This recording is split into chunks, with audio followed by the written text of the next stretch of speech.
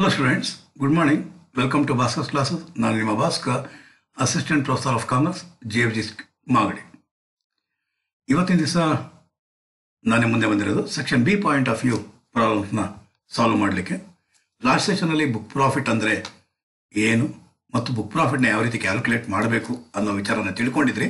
ಇವತ್ತಿನ ದಿವಸ ಆ ಬುಕ್ ಪ್ರಾಫಿಟ್ ಮೇಲೆ ಪ್ರಾಬ್ಲಮ್ಸ್ನ ಸಾಲ್ವ್ ಮಾಡೋಣ ಸ್ಟೂಡೆಂಟ್ಸ್ ಹಾಗಾದರೆ ಈಗ ಬನ್ನಿ. ಪ್ರಾಬ್ಲಮ್ ನಂಬರ್ ಹದಿನಾರವರೆಗೂ ಲಾಸ್ಟ್ ಸೆಷನ್ ಅಲ್ಲಿ ಮಾಡಿದ್ವಿ. ಈಗ ಪ್ರಾಬ್ಲಮ್ ನಂಬರ್ ಹದಿನೇಳರಿಂದ ಈಗ ನೋಡೋಣ ಸ್ಟೂಡೆಂಟ್ಸ್ ಬನ್ನಿ ಸ್ಟೂಡೆಂಟ್ಸ್ ಪ್ರಾಬ್ಲಮ್ ನಂಬರ್ ಹದಿನೇಳು ಅದಕ್ಕೆ ಮೊದಲು ಒಂದು ಕಿವಿ ಮಾತು. ಈ ವಿಡಿಯೋ ನಿಮ್ಗೆ ಇಷ್ಟ ಆಯಿತು ಅಂದರೆ ಲೈಕ್ ಮಾಡಿ ಕಾಮೆಂಟ್ ಮಾಡಿ ಮತ್ತು ಶೇರ್ ಮಾಡಿ ಸ್ಟೂಡೆಂಟ್ಸ್ ಬನ್ನಿ ಸ್ಟೂಡೆಂಟ್ಸ್ ಈಗ ಹೋಗೋಣ. ಹದಿನೇಳನೇದಕ್ಕೆ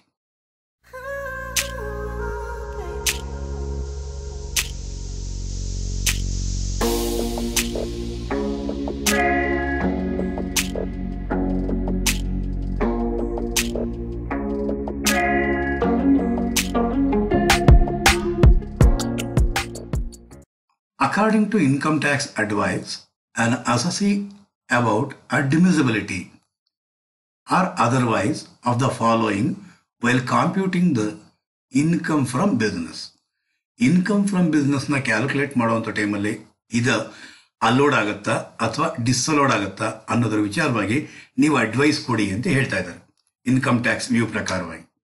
ಹಾಗಾದರೆ ಇಲ್ಲಿ ನೀವು ಮಾಡಬೇಕಾಗಿರೋದಿಷ್ಟು ಸ್ಟೂಡೆಂಟ್ಸ್ ಆರು ಪ್ರಶ್ ಆರು ಐಟಮ್ಸ್ನ ಕೊಟ್ಟಿದ್ದಾನೆ. ಇದು ಅಲೋಡ್ ಆಗುತ್ತಾ ಡಿಸ್ಅಲೋಡ್ ಆಗುತ್ತಾ? ಅಷ್ಟೇ ಬೇಕಾಗಿರೋದು. ಅಲೋಡ್ ಆಗುತ್ತಾ ಡಿಸ್ಅಲೋಡ್ ಆಗುತ್ತಾ? ಫಸ್ಟ್ ಒಂದು ನೋಡೋಣ. ಅಲೋಡ್ ಐಟಮ್ಸ್ ಗೊತ್ತಿದೆ ಡಿಸ್ಅಲೋಡ್ ಗೊತ್ತಿದೆ. ಅದು ಏನು ಅಂತ ಎಕ್ಸ್ಪ್ರೆಸ್ ಮಾಡ್ಬೇಕಷ್ಟೇ ನೀವು. So commission of rupees forty thousand paid to procure orders for the business ಬಿಸ್ನೆಸ್ಗೆ ಸುಮ್ಮನೆ ಉದಾಹರಣೆಗೆ ನಾವೇನು ಈ ಮೊಬೈಲ್ನ ಪರ್ಚೇಸ್ ಮಾಡಿ ಸೇಲ್ ಮಾಡ್ತಾ ಇದ್ದೀವಿ. ಸೊ ಅಥವಾ ಮ್ಯಾನುಫ್ಯಾಕ್ಚರ್ ಮಾಡಿ ಸೇಲ್ ಮಾಡ್ತಾ ಇದ್ದೀವಿ ಅಂದ್ಕೊಳ್ಳಿ ಹಾಗಾಗಿ ಈ- ಈಗ ನಾವು ಆರ್ಡರ್ಸ್ ಬೇಕು. ಆರ್ಡರ್ಸ್ ಬೇಕು ಅಂತ ತಂದರೆ ಅವ್ರಿಗೆ ಏನೋ ಕೆಲವು ಮಧ್ಯವರ್ತಿಗಳಿಗೆ ಕಮಿಷನ್ ಕೊಡಬೇಕಾಗಿರುತ್ತೆ ನಾವು. ಆ ಕಮಿಷನ್ ಕೊಡೋದು ಅಲ್ಲೋಡ ಡಿಸ್ಅಲೋಡ ಹೌದಲ್ವಾ? ನಾವು ಮಾಡ್ತಾ ಇರೋಂಥ ಬಿಸ್ನೆಸ್ಗೆ ಇಂಪ್ರೂವ್ ಸೇಲ್ಸ್ ಜಾಸ್ತಿ ಆಗೋಕ್ಕೋಸ್ಕರ ನಾವು ಕಮಿಷನ್ ಕೊಡಲೇಬೇಕಾಗಿರುತ್ತೆ. ಇದನ್ನು ನಾವೇನಂತ ಕರಿತೀವಿ ಸ್ಟೂಡೆಂಟ್ಸ್ ಅಲೋಡ್ ಆಗಿರುತ್ತೆ. Loss due to embezzlement embezzlement ಅಂದರೆ ಮೋಸ ಮಾಡೋದು. By an employee normal course of business ಅಲ್ಲಿ ಕೆಲವು ವ್ಯಕ್ತಿಗಳು ಇರ್ತಾರೆ. ಅವರು ಮೋಸ ಮಾಡೇ ಮಾಡ್ತಾರೆ. ಅದರಿಂದ ಬಿಸ್ನೆಸ್ಗೆ ಲಾಸ್ ಆಗೇ ಆಗುತ್ತೆ. ಇದು ಕೂಡ ಏನಾಗಿರುತ್ತೆ? Allowed allowed as business expenses allowed expenses expenses ಅಂತ ಬರೀಬೇಕಾಗುತ್ತೆ ನೀವು. Okay cash expenditure of rupees thirty four thousand ನಾನೇನು ಹೇಳಿದೆ? ಕ್ಯಾಶ್ ಪೇಮೆಂಟ್ ಏನೇ ಮಾಡ್ರಿ, ನೀವು ಹತ್ತು ಸಾವಿರ ರೂಪಾಯಿಗಿಂತ ಜಾಸ್ತಿ ಮಾಡಿದ್ರೆ ಹಂಡ್ರೆಡ್ ಪರ್ಸೆಂಟ್, ಹತ್ತು ಸಾವಿರಕ್ಕಿಂತ ಜಾಸ್ತಿ ಅಲ್ಲ ಇಪ್ಪತ್ನಾಲ್ಕು ಸಾವಿರ ಅಲ್ಲ students, hundred percent disallowed disallowed disallowed then interest on loan taken to pay income tax income ಟ್ಯಾಕ್ಸ್ನ ಕಟ್ಟಕ್ಕೋಸ್ಕರ ಲೋನ್ ತಗೊಂಡು, ಆ ಲೋನ್ ಮೇಲೆ ಇಂಟ್ರೆಸ್ಟ್ ಏನಾದರೂ ಕೊಟ್ಟ ಅಂದ್ರೆ ಅದು ಕೂಡ ಏನಾಗಿರುತ್ತೆ ಸ್ಟೂಡೆಂಟ್ಸ್ ಡಿಸ್ ಅಲೋಡ್ ಆಗಿರುತ್ತೆ. Then discount allowed for prompt payment of dues ಒಬ್ಬ ವ್ಯಕ್ತಿ ಇದ್ದಾನೆ, ಗಣೇಶ್, ಯಾವಾಗಲೂ ಕೂಡ ಇನ್ ಟೈಮ್ ಕರೆಕ್ಟಾಗಿ ಕೊಡ್ತಾ ಇರ್ತಾನೆ. ಅವನಿಗೇನು ಮಾಡ್ತೀವಿ? ಒಂದು ಸ್ವಲ್ಪ ಡಿಸ್ಕೌಂಟ್ ಎಲ್ಲ ಮಾಡ್ತೀವಿ. ಏ ಕರೆಕ್ಟಾಗಿ ಕೊಡ್ತೀವಪ್ಪ ಒಳ್ಳೆ ವ್ಯಕ್ತಿ ನೀನು. ಹಿಂಗೆ ಮುಂದಕ್ಕೆ ಪೇಮೆಂಟ್ ಮಾಡುವಂತ ಅವನ್ನ ಎನ್ಕರೇಜ್ ಮಾಡೋದಕ್ಕೋಸ್ಕರ ಪೇಮೆಂಟ್ನ ಮತ್ತೆ ಇನ್ನೂ ಚೆನ್ನಾಗಿ ಮಾಡೋದಕ್ಕೋಸ್ಕರ ಅವ್ನಿಗೆ ಏನು ಮಾಡ್ತಾರೆ? ಡಿಸ್ಕೌಂಟ್ ಕೊಡ್ತಾರೆ. ಇದು ನಾರ್ಮಲ್ ಕೋರ್ಸ್ ಆಫ್ ಬಿಸ್ನೆಸ್ಸಲ್ಲಿ ಅಲೋಡ್ ಆಗಿರುತ್ತೆ. Allowed expenses penalty for importing prohibited goods ಯಾವುದೇ ಪೆನಾಲ್ಟಿ ಹಾಕ್ಕೊಳ್ಳಿ, ಯಾವುದೇ ಫೈನ್ಸ್ ಆಗಲಿ. ಇನ್ಫ್ರಿಗ್ಮೆಂಟ್ ಆಫ್ ಲಾ ಕಾನೂನನ್ನ ದುರುದ್ದೇಶಿ ದುರುದ್ದೇಶಿಸಿ ಅಥವಾ ವೈಲೇಟ್ ಮಾಡಿ, ಕಾನೂನನ್ನ ಮುರಿದು ಲಾನ ಬ್ರೇಕ್ ಮಾಡಿ. ಅವನೇನಾದ್ರು ಪೆನಾಲ್ಟಿ ಏನಾದ್ರು ಹಾಕಿಸ್ಕೊಂಡಿದ್ರೆ ಅದೇನಾಗಿರುತ್ತೆ ಸ್ಟೂಡೆಂಟ್ಸ್ ಡಿಸ್ ಅಲೋಡ್ ಆಗಿರುತ್ತೆ. ಡಿಸ್ ಅಲೋಡ್ ಎಕ್ಸ್ಪೆನ್ಸಸ್ ಆಗಿರುತ್ತೆ. ಕ್ಲಿಯರ್ ಸ್ಟೂಡೆಂಟ್ಸ್ ಆರ್ ಐಟಮ್ಗೆ ಅಲೋಡ್ ಅಥವಾ ಡಿಸ್ಅಲೋಡ್ ಅಂತ ಬರೆದ್ರ ಅಂದರೆ ಆರ್ ಮಾರ್ಕ್ಸ್ ಸಿಗುತ್ತೆ ಸ್ಟೂಡೆಂಟ್ಸ್ ಬನ್ನಿ ಸ್ಟೂಡೆಂಟ್ಸ್ ಈಗ ನಾವು ಡಿಸ್ಕಸ್ ಮಾಡಿದ್ದು ಹದಿನೇಳನೇ ಪ್ರಾಬ್ಲಮ್ ಈಗ ಹೋಗೋಣ ಹದಿನೆಂಟನೇ ಪ್ರಾಬ್ಲಮ್ ಏನಂತೆ? State whether the following are admissible or not while calculating business income under the provisions of income tax act income tax ಆಕ್ಟ್ನ ಪ್ರಕಾರವಾಗಿ ನಾವೇನು ಏನ ಮಾಡ್ತಿದ್ರೆ ಅಡ್ಮಿಸಬಲ್ಲ ಅಥವಾ ಅಲ್ವಾ ಅಂತ ತಿಳ್ಕೊಳ್ಳೋಕ್ಕೋಸ್ಕರ ಮಾಡಬೇಕಾಗಿರುತ್ತೆ. ಹಾಗಾದರೆ loss of stock due to theft by an employee employee ಏನು ಮಾಡ್ತಿದ್ದಾನೆ? ಕಳ್ತನ ಮಾಡಿದ್ದಾನೆ. ಲಾಸ್ ಆಗಿದೆ. ಸೊ ಸ್ಟಾಕ್ ಲಾಸ್ ಆಗಿದೆ. ನಾರ್ಮಲ್ ಕೋರ್ಸ್ ಆಫ್ ಬಿಸ್ನೆಸ್ಸಲ್ಲಿ ಅಂತ ಎಂಪ್ಲಾಯೀಸ್ ಇರ್ತವೆ. ಇದು ಕೂಡ ಏನಾಗಿರುತ್ತೆ? ಅಲೋಡ್ ಆಗಿರುತ್ತೆ. ನಾನು ಅಲೋಡ್ಗೆ ಟಿಕ್ ಮಾರ್ಕ್ ಹಾಕ್ತೀನಿ ಡಿಸ್ ಅಲೋಡ್ಗೆ ಇಂಟು ಮಾರ್ಕ್ ಹಾಕ್ತೀನಿ ಸ್ಟೂಡೆಂಟ್ಸ್ ನಿಮ್ಗೆ ಅರ್ಥ ಮಾಡ್ಕೊಂತೀರಾ ಅಂತ ಅಲೋಡ್ ಎಕ್ಸ್ಪೆನ್ಸಸ್ ನೀವು ಇಂಟು ಮಾರ್ಕು ಟಿಕ್ ಮಾ ರೈಟ್ ಮಾರ್ಕು, ಇಂಟು ಮಾರ್ಕ್ಗಳೆಲ್ಲ ಹಾಕಕ್ಕೆ ಹೋಗಬಾರ್ದು ಸ್ಟೂಡೆಂಟ್ಸ್ ಕ್ಲಿಯರ್ ಅರ್ಥ ಆಯ್ತಾ ಹೇಳಿದ್ದು ನೀವು allowed expenses disallowed expenses mention ಮಾಡಬೇಕಾಗಿರುತ್ತೆ. Service charged ಹೌದಲ್ವಾ? ಸರ್ವಿಸ್ ನೀವು ಕೊಟ್ಟಿದ್ದೀರಾ, ಅದಕ್ಕೆ ನೀವು ಚಾರ್ಜ್ ಮಾಡ್ತಾ ಇದ್ದೀರಾ ಅಂದರೆ ಅಲೋಡ್ ಆದರೆ ಬಿಸ್ನೆಸ್ ಎಕ್ಸ್ಪೆನ್ಸಸ್ ಚಾರಿಟೀಸ್ ಪೇಯ್ಡ್ ಚಾರಿಟಿನ ನೀವು ಕೊಟ್ರ ಅಂದರೆ ದಾನ ಧರ್ಮ ಮಾಡೋಕ್ಕಲ್ಲ, ನೀವು ಬಿಸ್ನೆಸ್ ಮಾಡ್ತಿರೋದು. So it is disallowed expenses any provision any reserve any fund disallowed ಆಗಿರುತ್ತೆ students legal expenses paid for defining uh, capital asset title of the asset ನ ಉಳಿಸ್ಕೋಸ್ಕರ ಮಾಡಿರುವಂತಹದ್ದು allowed as a business expenses loss on sale of capital asset any loss any loss on sale of fixed asset is disallowed outstanding G S T outstanding G S T ಅಂದರೆ G S T payment ಮಾಡಿದ್ರೆ ಮಾತ್ರ allowed ಆಗುತ್ತೆ. ಅದು ಕೂಡ before due date of filing return income ಆಗಿದ್ರೆ ಬರೀ outstanding G S T ಅಂದರೆ disallowed ಆಗುತ್ತೆ. ಏನು ಹೇಳ್ತೇನೆ ನೋಡೋಣ. Outstanding G S T or sales tax of provisions previous years paid during the year paid ಅಂದರೆ before due date of filing return of ಇನ್ಕಮ್ನ ಒಳಗೆ payment ಮಾಡಿದನಂತೆ. Outstanding G S T allowed ಆಗಿದೆಯಂತೆ. ಆಗುತ್ತೆ paid ಆಗಿದ್ರೆ. ಇನ್ನೂ ಕೊಟ್ಟಿಲ್ಲ ಅಂದರೆ disallow ಆಗ್ಬಿಡೋದು. Gift tax paid gift tax ಅಂದ್ರೆ ಏನದು? Personal taxes disallowed professional tax paid allowed professional tax paid ಏನಾಗಿರುತ್ತೆ? ಅಲೋಡ್ ಆಗಿರುತ್ತೆ. Penalty paid to custom authorities penalty ಕೊಡ್ತಾ ಇದಾರಂತೆ ಪೆನಾಲ್ಟಿ ಏನಕ್ಕೆ ಕೊಡ್ತಾ ಇರೋದು? ಕಷ್ಟ ಯಾರು ಕೊಡ್ತಾ ಇರೋದು? ಕಸ್ಟಮ್ ಅಥಾರಿಟೀಸ್ಗೆ ಏನಕ್ಕೋಸ್ಕರ ಕೊಡ್ತಾ ಇರೋದು? ಪ್ರಾಹಿಬಿಟೆಡ್ ಗೂಡ್ಸ್ನ ಇಂಪೋರ್ಟ್ ಮಾಡ್ಕೊತಾ ಇರೋದಕ್ಕೆ. ಹಾಗಾದ್ರೆ ಪ್ರಾಹಿಬಿಟೆಡ್ ಗೂಡ್ಸ್ನ ಇಂಪೋರ್ಟ್ ಮಾಡ್ತಾ ಇರೋದು ಲಾನ ಬ್ರೇಕ್ ಮಾಡ್ದಾ ಇದ್ದು ಅದಕ್ಕೋಸ್ಕರ ಏನು ಮಾಡಬೇಕಾಗಿರುತ್ತೆ? ಡಿಸ್ಅಲೌಡ್ ಆಗಿರುತ್ತೆ. ಕ್ಲಿಯರ್ ಸ್ಟೂಡೆಂಟ್ಸ್ ಈಗ ನಾವು ಮಾಡಿದ್ದು ಹದಿನೆಂಟನೇ ಪ್ರಾಬ್ಲಮ್ ಹಾಗಾದ್ರೆ ಬನ್ನಿ ಸ್ಟೂಡೆಂಟ್ಸ್ ಈಗ ಹೋಗೋಣ ಹತ್ತೊಂಬತ್ತನೇ ಪ್ರಾಬ್ಲಮ್ಗೆ ಏನಂತೆ? ಏನಂತೆ? ಮಾಮೂಲಿ as usual problem admissible or not ಅಂತ ಹೇಳ್ಬೇಕಂತೆ. ಅಡ್ಮಿಸಬಲ್ಗೆ ನಾನು ಟಿಕ್ ಮಾರ್ಕ್ ಹಾಕ್ತೀನಿ ಅಂದ್ರೆ ರೈಟ್ ಮಾರ್ಕ್ ಹಾಕ್ತೀನಿ. ಡಿಸಲೋಡ್ ಎಕ್ಸ್ಪೆನ್ಸಸ್ಗೆ ನಾನು ಇಂಟು ಮಾರ್ಕ್ ಹಾಕ್ತೀನಿ ಸ್ಟೂಡೆಂಟ್ಸ್ ನೀವು ಅಡ್ಮಿಸಬಲ್ ಅಲೋವಬಲ್ ಡಿಸಲೋಡ್ ಅಂತ ಬರಿಬೇಕಾಗಿರುತ್ತೆ students discount allowed normal course of business ಅಲ್ಲಿ ಡಿಸ್ಕೌಂಟ್ ಕೊಡಲೇಬೇಕು. Allowed as business expenses staff welfare expenses welfare of ಸ್ಟಾಫ್ಗೋಸ್ಕರ expenses ಮಾಡಲೇಬೇಕಾಗಿರುತ್ತೆ ಎಂಪ್ಲಾಯರ್ ಅಲೋಡ್ ಆಗಿರುತ್ತೆ. ಅದೇ ಸ್ಟಾಫ್ ವೆಲ್ಫೇರ್ ಫಂಡ್ಗೆ ಏನಾದ್ರು ಕಾಂಟ್ರಿಬ್ಯೂಟ್ ಕಾಂಟ್ರಿಬ್ಯೂಟ್ ಮಾಡ್ತಾ ಇದ್ರೆ ಅದೇನಾಗಿರುತ್ತೆ ಸ್ಟೂಡೆಂಟ್ಸ್ ಡಿಸ್ಅಲೋಡ್ ಎಕ್ಸ್ಪೆನ್ಸಸ್ ಆಗಿರುತ್ತೆ. ಪೇಮೆಂಟ್ ಫಾರ್ ಒಬ್ಟೈನಿಂಗ್ ಫ್ರಾಂಚೈಸ್ ಫ್ರಾಂಚೈಸ್ನ ತಗೊಳ್ಳೋದಕ್ಕೋಸ್ಕರ ಪೇಮೆಂಟ್ ಏನಾದ್ರು ಮಾಡ್ತಾ ಇದ್ರೆ ಅಲೋಡ್ ಆಗಿರುತ್ತೆ students personal gifts and presents disallowed ನಿಮಗೆ ಗೊತ್ತಾಗ್ತಾ ಇದೆ. Interest on loan taken to pay income tax income ಟ್ಯಾಕ್ಸ್ನ payment ಮಾಡೋಕ್ಕೋಸ್ಕರ ಲೋನ್ ಏನಾದ್ರು ತಗೊಂಡಿದ್ರೆ ಅದು ಡಿಸ್ಅಲೋ ಆಗಿರುತ್ತೆ. Income tax disallowed advance income tax disallowed interest on loan taken to pay income tax ಇದು also disallowed ಆದ್ರೆ ಜ್ಞಾಪಕ ಇಟ್ಕೊಳ್ಳಿ. ಇನ್ಕಮ್ ಟ್ಯಾಕ್ಸ್ ಅಡ್ವೈಸ್ ತೊಗೊಳಕ್ಕೋಸ್ಕರ ಹಾಕ್ಕೊಳ್ಳಿ ಇನ್ಕಮ್ ಟ್ಯಾಕ್ಸ್ ಫರ್ನಿಷ್ ಮಾಡೋಕ್ಕೋಸ್ಕರ ಎಕ್ಸ್ಪೆನ್ಸ್ ಹಾಕ್ಕೊಳ್ಳಿ ಇನ್ಕಮ್ ಟ್ಯಾಕ್ಸ್ ಅಪೀಲ್ಗೋಸ್ಕರ ಎಕ್ಸ್ಪೆನ್ಸಸ್ ಏನಾದ್ರು ಹಾಕ್ಕೊಳ್ಳಿ. ಮಾಡಿದ್ರ ಅಂದ್ರೆ it is allowed as a business expenses then commission of rupees fifty thousand pay to secure a business order. ಬಿಸ್ನೆಸ್ನಲ್ಲಿ ಆರ್ಡರ್ನ ಪಡ್ಕೊಳ್ಳೋಕ್ಕೋಸ್ಕರ ಕಮಿಷನ್ನ ಕೊಡ್ತಾ ಇದ್ದಾನೆ. ಇದೇನಾಗಿರುತ್ತೆ students? Allowed as a business expenses. Commission brokerage paid for raising a loan. ಲೋನ್ನ ತಗೊಳ್ಳೋಕ್ಕೋಸ್ಕರ ಬ್ರೋಕರ್ಗೆ ಅಮೌಂಟ್ನ ಕೊಡ್ತಾ ಇದ್ದಾನೆ. ಲೋನ್ ತಗೊಂತಾ ಇರೋದು ಬಿಸ್ನೆಸ್ ಪರ್ಪಸ್ಗೋಸ್ಕರ ಅಂತ ಅಂದ್ಕೊಂಡು ಇದನ್ನೇನು ಮಾಡಬೇಕಾಗಿರುತ್ತೆ? Allow ಮಾಡಬೇಕಾಗಿರುತ್ತೆ students. Penalties and pay fines on excise duty. Excise duty ಮತ್ ಮೇಲೆ ಫೈನ್ಸ್ ಪೆನಾಲ್ಟೀಸ್ ಏನಾದ್ರು ಪೇಮೆಂಟ್ ಮಾಡಿದ್ರೆ ಇನ್ಫ್ರಿಂಗ್ಮೆಂಟ್ ಆಫ್ ಲಾ ಅಂತ ಹೇಳ್ಬಿಟ್ಟಿದೆ. ಡಿಸಲೋ ಮಾಡ್ತೀರಾ? ಅದೇ ರೀತಿಯಲ್ಲಿ ಸೇಮ್ ಥಿಂಗ್ ಡಿಸಲೋಡ್ ಆಗಿರುತ್ತೆ. Excess depreciation charge on asset ಹಾಗಾದ್ರೆ ಡಿಪ್ರಿಸಿಯೇಷನ್ ಎಕ್ಸಸ್ ಚಾರ್ಜ್ ಮಾಡಿದ್ದಾನೆ. ಸೊ ಎಷ್ಟು ತಗೊಬೇಕು? ಅಷ್ಟೇ ತಗೊಬೇಕು. ಅದಕ್ಕಿಂತ ಜಾಸ್ತಿ ತಗೊಂಡ್ರೆ ಡಿಸಲೋಡ್ ಆಗಿರುತ್ತೆ ಸ್ಟೂಡೆಂಟ್ಸ್ ನಾನು ನಿಮ್ಗೆ ಏನು ಹೇಳಿದೆ? Commission to employees bonus to employees payment ಮಾಡ್ತಾ ಇರೋದು ಯಾವಾಗ? After the due date of filing return of income before due date ಆಗಿದ್ರೆ ಅಲೋಡ್ ಆಗಿರೋದು ಅಲೋಡ್ ಆಗಿರೋದು ಈಗೇನಾಗಿದೆ ಆಫ್ಟರ್ ಡ್ಯೂ ಡೇಟ್ ಆಗಿರೋದ್ರಿಂದ ಡಿಸ್ಅಲೋಡ್ ಆಗಿರುತ್ತೆ students then provision any provision any reserve any fund disallowed ಆಗಿರುತ್ತೆ.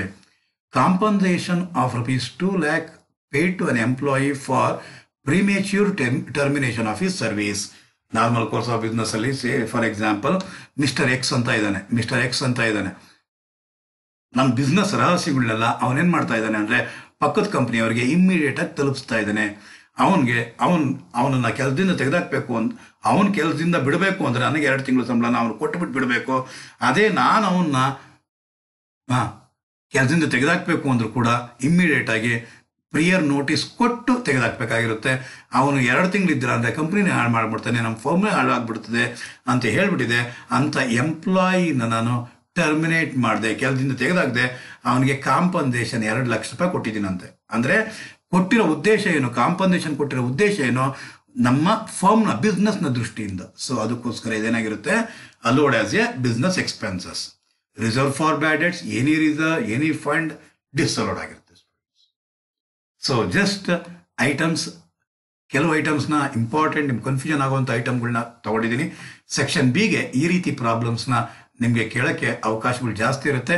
ಅಲೋಡ್ ಅಥವಾ ಡಿಸ್ಅಲೋಡ್ ಆನ್ಸರ್ ಇಷ್ಟೇ. ಐದನೇ ಪ್ರಶ್ನೆ ಕೇಳಿದ್ದಾನೆ ಅಂದ್ಕೊಳ್ಳಿ ಐದನೇ ಪ್ರಶ್ನೆಯಲ್ಲಿ ಇದು ಐದನೇ ಪ್ರಶ್ನೆಯಲ್ಲಿ ನೀವು ಮಾಡಬೇಕಾಗಿರೋದು ಅಲ್ಲಿ ಎ ಒಂದು, ಎರಡು, ಮೂರು ಅಂತ ಕೊಟ್ಟಿದ್ದೇನೆ. ಒಂದನೇದಕ್ಕೆ ಅಲೋಡ್ ಎರಡನೇದಕ್ಕೆ ಅಲೋಡ್ ಮೂರನೇದಕ್ಕೆ ಡಿಸಲೋಡ್ ನಾಲ್ಕನೇದಕ್ಕೆ ಡಿಸಲೋಡ್ ಐದನೇದಕ್ಕೆ ಅಲೋಡ್ ಆರನೇದಕ್ಕೆ ಡಿಸಲೋಡ್ ಏಳನೇದಕ್ಕೆ ಎಂಟನೇದಕ್ಕೆ ಒಂಬತ್ತನೇದಕ್ಕೆ ಹತ್ತನೇದಕ್ಕೆ ಆನ್ಸರ್ ಈ ರೀತಿ ಬರೀಬೇಕಾಗಿರುತ್ತೆ. ಕ್ವಶನ್ ಇದರಲ್ಲಿ ಲೆಫ್ಟ್ ಸೈಡಲ್ಲಿ ಬರ್ಕೊಳ್ಳಿ, ಯಾವುದೋ ಮಾರ್ಜಿನ್ ಹಿಂದ್ಗಡೆಗೆ ಸೊ ಇದೆಲ್ಲದನ್ನು ಆನ್ಸರ್ ಈ ರೀತಿ ಬರೀಬೇಕಾಗಿರುತ್ತೆ ಸ್ಟೂಡೆಂಟ್ಸ್ ಅರ್ಥ ಆಗಿದೆ ಅಂತ ಭಾವಿಸ್ತೀನಿ ಸ್ಟೂಡೆಂಟ್ಸ್ ಇದು ಸೆಕ್ಷನ್ ಬಿ ನಲ್ಲಿ ಫಸ್ಟ್ ಕ್ಯಾಟಗರಿ ಕೇಳುವಂಥದ್ದು ಆಗಿರುತ್ತೆ ಸ್ಟೂಡೆಂಟ್ಸ್ ಇದ್ರ ಜೊತೆಗೆ ಸೆಕ್ಷನ್ ಬಿಗೆ ಇನ್ನೊಂಥರ ಥರ ಕೇಳಕ್ಕೆ ಅವಕಾಶ ಇದೆ. ಆ ಥರ ಪ್ರಾಬ್ಲಮ್ಸ್ನ ನೋಡೋಣ. ಬನ್ನಿ ಸ್ಟೂಡೆಂಟ್ಸ್ ಈಗ. Calculate allowable remuneration to working partners allowable remuneration ನಾವು ಕ್ಯಾಲ್ಕುಲೇಟ್ ಮಾಡಬೇಕಾಗಿದೆ ಅಂತೆ ನಾವು ಪ್ರೀವಿಯಸ್ ಪ್ರಾಬ್ಲಮ್ ಅಲ್ಲೆಲ್ಲ ಮಾಡಿದಾಗೆಲ್ಲ ಅವನ ಪ್ರಾಬ್ಲಮ್ ಅಲ್ಲಿ ಬುಕ್ ಪ್ರಾಫಿಟ್ ಅವನೇ ಕೊಟ್ಟುಬಿಟ್ಟಿರ್ತಿದ್ದ ಆದರೆ ಈ ಪ್ರಾಬ್ಲಮ್ ಅಲ್ಲಿ net profit as per P and L account after debiting the following items ಅಂತ ಹೇಳ್ತಾನೆ. ಮೂರು ಐಟಮ್ ಕೊಟ್ಟಿದ್ದಾನೆ. ಮೂರು ಐಟಮ್ನ ಕೊಟ್ಟು ಈ ಮೂರು ಐಟಮ್ನ P and L account debit ಸೈಡ್ನಲ್ಲಿ ತಗೊಂಡಿದ್ದಾನಂತೆ. ಹಾಗಾದರೆ ಪಿ ಎಂಡ್ ಎಲ್ ಅಕೌಂಟ್ ಇಲ್ಲಿದೆ ಪಿ ಎಂಡ್ ಎಲ್ ಅಕೌಂಟ್ ಇಲ್ಲಿದೆ ಐಟಮ್ಸ್ ಎಲ್ಲ ತಗೊಂಡಿದ್ದಾನೆ. So one two three items ತೊಗೊಂಡಿದ್ದಾನೆ. ಇವನ್ಗೇನು ಬಂದಿದೆ? One lakh thirty five thousand net profit ಬಂದ್ಬಿಟ್ಟಿದೆ. ಈಗ ಇವಾಗ ನಾವೇನು ಮಾಡಬೇಕು? ಈ ನೆಟ್ ಪ್ರಾಫಿಟ್ ಬಿ ಎಸ್ ಮೇಲೆ ನಾವು ಮೊದಲೇನು ಕಂಡುಹಿಡಿಬೇಕು ಬುಕ್ ಪ್ರಾಫಿಟ್ನ ಕಂಡುಹಿಡಿಬೇಕಾಗಿರುತ್ತೆ ಸ್ಟೂಡೆಂಟ್ಸ್ ಹಾಗಾದರೆ ಬುಕ್ ಪ್ರಾಫಿಟ್ನ ಕಂಡುಹಿಡಿಯೋಣ ಬುಕ್ ಪ್ರಾಫಿಟ್ನ ಕಂಡುಹಿಡಿಯೋಣ ಸ್ಟೂಡೆಂಟ್ಸ್ ಅಂದರೆ ಕಾಂಪಿಟೇಷನ್ ಆಫ್ ಬುಕ್ ಪ್ರಾಫಿಟ್ ಏನು computation of book profit book profit ಹೆಂಗ್ ಬರುತ್ತೆ? ಫಸ್ಟ್ ನಾವೇನು ತಗೊಬೇಕಾಗಿರೋದು? Net profit as per P and L account net profit as per P and L account ಎಷ್ಟು ಕೊಟ್ಟಿದ್ದಾನೆ net profit as per P and L account one lakh thirty five thousand ಕೊಟ್ಟಿದ್ದಾನೆ. One lakh thirty five thousand ಕೊಟ್ಟಿದ್ದಾನೆ ಈ one lakh thirty five thousand net profit ಅಲ್ಲಿ first ನಾವೇನ್ ಮಾಡ್ಬೇಕಾಗಿರೋದು disallowed expenses ಏನಾದ್ರು ಇದೆಯಾ ಅಂತ ನೋಡಬೇಕು and disallowed disallowed expenses debited to P and L account ಏನಾದ್ರು ಇದೆಯಾ ಅಂತ ನೋಡೋಣ ಫಸ್ಟ್ ಏನಿದೆ? Salary to partners hundred percent disallowed disallowed ಏನಿದು salary to salary to employees allowed ನಾನು ಹೇಳ್ತಾ ಇರೋದೇನು? Salary to partners salary to partners disallowed ಎಷ್ಟು one lakh twenty five thousand next commission paid to partners ಆದರೆ commission to partners commission to partners ಎಷ್ಟು? One lakh ಅದು ಕೂಡ disallowed ಆಗಿರುತ್ತೆ. Bonus to partners ಇದು disallowed ಆಗಿರುತ್ತೆ. ಬೋನಸ್ ಟು ಪಾರ್ಟ್ನರ್ಸ್ ಎಷ್ಟು? Twenty five thousand ಹಾಗಾದ್ರೆ ಇವಾಗ ಏನು ಮಾಡಬೇಕು? ಒಂದು ಒಂದು ಲಕ್ಷ, ಒಂದು ಕಾಲು ಲಕ್ಷ, ಒಂದು ಲಕ್ಷ ಇಪ್ಪತ್ತೈದು ಸಾವಿರ. ಇಷ್ಟು ಕೂಡಿದ್ರೆ ಬರೋದು ಟೂ ಲ್ಯಾಕ್ ಫಿಫ್ಟಿ ತೌಸಂಡ್ ಇಷ್ಟನ್ನು ಕೂಡ ಏನು ಮಾಡಬೇಕಾಗಿರುತ್ತೆ ಸ್ಟೂಡೆಂಟ್ಸ್ ನೀವು ಆ್ಯಡ್ ಮಾಡಬೇಕಾಗಿರುತ್ತೆ. ಹಾಗಾದ್ರೆ ಬರೋದು three lakh eighty five thousand ಅನ್ನೋದನ್ನೇ ಕೊಟ್ಟಿರೋದೇ ಮೂರು ಐಟಮ್ ಮೂರು ಐಟಮ್ ಕೂಡ ಏನು ಮಾಡಬೇಕಾಗುತ್ತೆ? ಆ್ಯಡ್ ಮಾಡಬೇಕಾಗಿರುತ್ತೆ. ಇದನ್ನೇ ನಾವೇನಂತ ಕರಿತೀರಾ? ಬುಕ್ ಪ್ರಾಫಿಟ್ ಅಂತ ಹೇಳ್ತೀವಿ ಸ್ಟೂಡೆಂಟ್ಸ್ ಏನಂತ ಹೇಳ್ತೀರಾ? ಬುಕ್ ಪ್ರಾಫಿಟ್ ಅಂತ ಹೇಳ್ತೀವಿ. ಬುಕ್ ಪ್ರಾಫಿಟ್ ಬಂದ ನಂತರ ನಾವೇನು ಮಾಡಬೇಕಾಗಿರುತ್ತೆ? ಹಾಂ ಇನ್ನೊಂದು ಸ್ಟೇಟ್ಮೆಂಟ್ ಓಪನ್ ಮಾಡ್ತೀರಾ? ಏನ್ ಹೆಸರು computation computation of maximum maximum allowable remuneration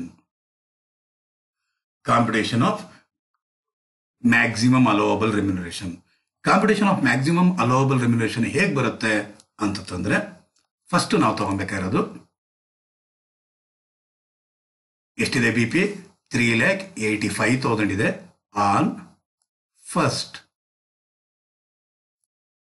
three lakhs of B P on first three lakhs of B P ಆ ಎಷ್ಟಿದೆ on first three lakhs of B P ಮೂರು ಲಕ್ಷ ಎಂಬತ್ತೈದು ಸಾವಿರ ಇರೋದ್ರಿಂದ ಆ ಮೂರು ಲಕ್ಷದ ಮೇಲೆ ನೈಂಟಿ ಪರ್ಸೆಂಟ್ ಪ್ರಾವಿಷನ್ ಮೊದಲು ಬರೆದ್ಬಿಡೋಣ. Ninety percent of B P or ninety percent of B P or rupees ಒಂದೂವರೆ lakh whichever is higher ninety percent of three lakh or one lakh fifty thousand whichever is higher ಅಂದರೆ ಬರೋದು two lakh seventy thousand or one lakh fifty thousand whichever is higher ಯಾವ್ದು higher two lakh seventy thousand ನಾನು ನಿಮಗೆ last ಕ್ಲಾಸಲ್ಲಿ ಹೇಳಿದ್ದೆ ನೀವು ಇದನ್ನ ಮಾಡುವಂಥ ಅಗತ್ಯ ಇಲ್ಲ. ಇಲ್ಲಿ ಮೂರು ಲಕ್ಷಕ್ಕಿಂತ ಜಾಸ್ತಿ ಇತ್ತು ಅಂದರೆ on first three lakhs of B P ಪ್ರಾವಿಷನ್ನ direct ಆಗಿ ಬರೆದು ಡೈರೆಕ್ಟ್ ಆಗಿ ಟೂ ಲ್ಯಾಕ್ ಸೆವೆಂಟಿ ತಗೊಳ್ಳಿ ಅಂತ ಹೇಳಿದ್ದೆ. ಅದನ್ನು ಜ್ಞಾಪಿಸೋ ಸಲುವಾಗಿ ಮತ್ತಿನ್ನೊಂದ್ಸರಿ ಮಾಡಿದ್ದೀನಿ ಸ್ಟೂಡೆಂಟ್ಸ್ ಹೇಗೆ ಬಂತು? ಎರಡು ಲಕ್ಷ ಎಪ್ಪತ್ತು ಸಾವಿರ ಅನ್ನೋ ಪ್ರಶ್ನೆ ಇರುತ್ತೆ. ಪ್ರೀವಿಯಸ್ ವಿಡಿಯೋಸ್ ನೀವು ನೋಡಿಲ್ಲ ಅಂತಂದ್ರೆ ಪ್ರೀವಿಯಸ್ ಎಪಿಸೋಡ್ಸ್ನ ನೋಡಿಕೊಂಡು ಸೆಷನ್ಸ್ ನೋಡಿಕೊಂಡು ಮತ್ತೆ ವಾಪಸ್ ಬನ್ನಿ ಸ್ಟೂಡೆಂಟ್ಸ್ ಓಕೆ ಹಾಗಾದರೆ next on balance of B P on balance of B P ಎಷ್ಟು sixty percent of balance of B P sixty percent of balance of B P sixty percent of balance of B P ಅಂತಂದರೆ ನಮ್ಮ ಹತ್ರ ಎಷ್ಟಿತ್ತು? ಮೊದಲು ಎಷ್ಟಿತ್ತು? ಮೂರು ಲಕ್ಷದ ಎಂಬತ್ತೈದು ಸಾವಿರ ಇತ್ತು ಬಿ ಪಿ ಅದರಲ್ಲಿ ಮೂರು ಲಕ್ಷದ ಮೇಲೆ ಆಲ್ರೆಡಿ ಕ್ಯಾಲ್ಕುಲೇಟ್ ಮಾಡಿಬಿಟ್ಟಿದ್ದೀವಿ ಇನ್ನು ಉಳಿದಿರೋದು ಇನ್ನೆಷ್ಟು? ಎಂಬತ್ತೈದು ಸಾವಿರದ ಮೇಲೆ ಸಿಕ್ಸ್ಟಿ ಪರ್ಸೆಂಟ್. ಹಾಗಾದರೆ ಎಂಬತ್ತೈದು ಸಾವಿರದ ಮೇಲೆ ಸಿಕ್ಸ್ಟಿ ಪರ್ಸೆಂಟ್ ಅಂದರೆ ಬರೋದು ಐವತ್ತ ಒಂದು ಸಾವಿರ. ಎಷ್ಟು ಸ್ಟೂಡೆಂಟ್ಸ್ ಐವತ್ತೊಂದು ಸಾವಿರ. ಇವೆರಡು ಟೋಟಲ್ ಮಾಡಿರಿ. ಪ್ಲಸ್ ಎರಡು ಲಕ್ಷ ಎಪ್ಪತ್ತು ಸಾವಿರ.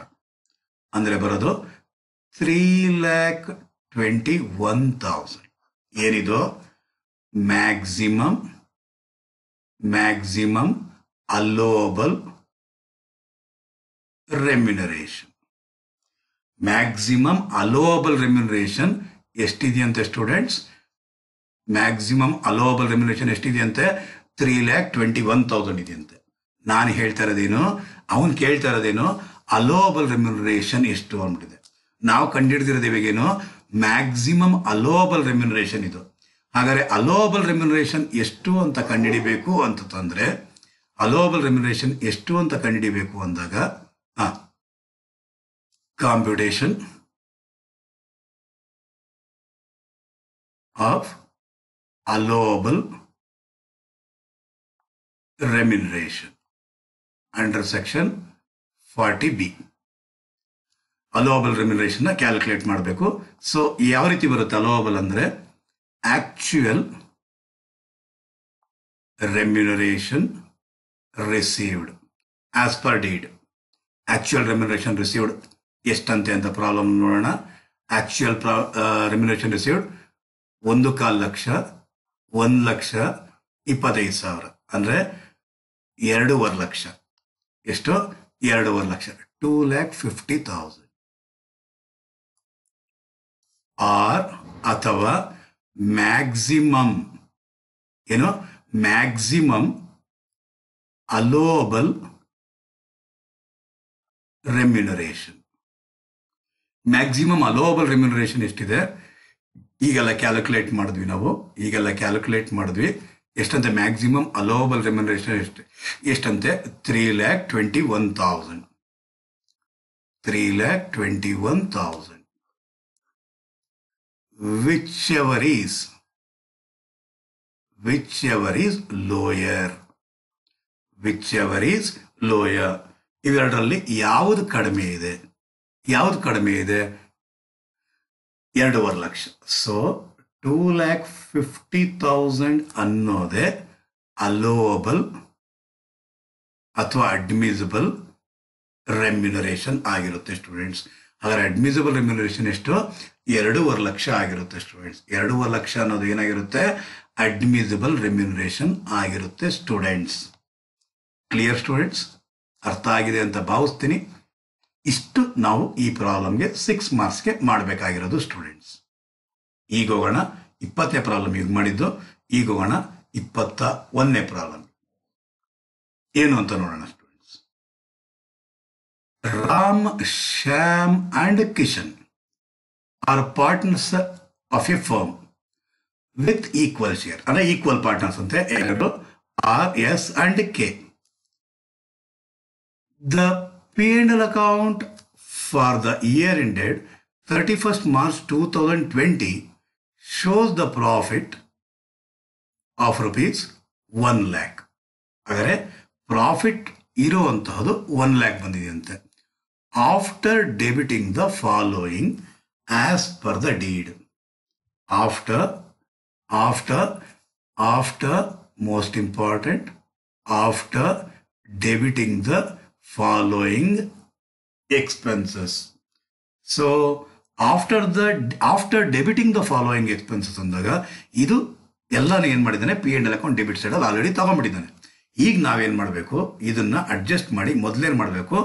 ಹಾ ಬುಕ್ ಪ್ರಾಫಿಟ್ ಕ್ಯಾಲ್ಕುಲೇಟ್ ಮಾಡಬೇಕು. ಆಮೇಲೆ ಇನ್ಕಮ್ ಫ್ರಮ್ ಬಿಸ್ನೆಸ್ನ ಕ್ಯಾಲ್ಕುಲೇಟ್ ಮಾಡಬೇಕು. ಏನು ಕೇಳಿದಾನೆ ಅಂತ ನೋಡಿ ಇಲ್ಲಿ ಕಾಂಪ್ಯೂಟ್ ಇನ್ಕಮ್ ಫ್ರಮ್ ಬಿಸ್ನೆಸ್ ಕ್ವಶನ್ನ ನೋಡಿಕೊಂಡು ನೀವು ಇದು ಮಾಡಬೇಕಾಗಿರುತ್ತೆ ಸ್ಟೂಡೆಂಟ್ಸ್ ಹಾಗಾದರೆ ಇನ್ಕಮ್ ಫ್ರಮ್ ಬಿಸ್ನೆಸ್ನ ಕ್ಯಾಲ್ಕುಲೇಟ್ ಮಾಡಬೇಕಂತೆ. ಫರ್ಮ್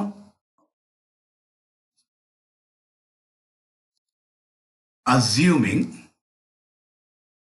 ಅಸ್ಯೂಮಿಂಗ್ ಇದು ರೆಸ್ಯೂಮಿಂಗ್ ಅಲ್ಲ ಇದು assuming that all partners are working partners ಎಲ್ಲ ಪಾರ್ಟ್ನರ್ಸ್ ಏನಾಗಿದ್ದಾರೆ? ವರ್ಕಿಂಗ್ ಪಾರ್ಟ್ನರ್ಸ್ ಆಗಿದ್ದಾರಂತೆ. ಏನ್ ಕಂಡುಹಿಡಿಬೇಕು? ಇನ್ಕಮ್ ಫ್ರಮ್ ಬಿಸ್ನೆಸ್ ಕ್ಯಾಲ್ಕುಲೇಟ್ ಮಾಡಬೇಕು.